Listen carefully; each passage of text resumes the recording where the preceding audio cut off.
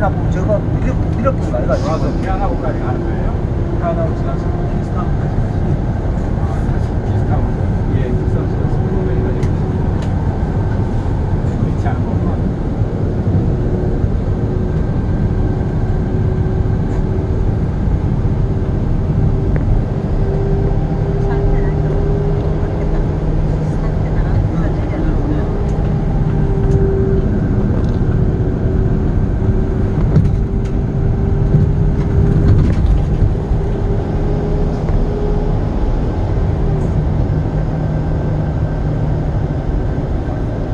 산 넘어오니까 비가 그쳤네.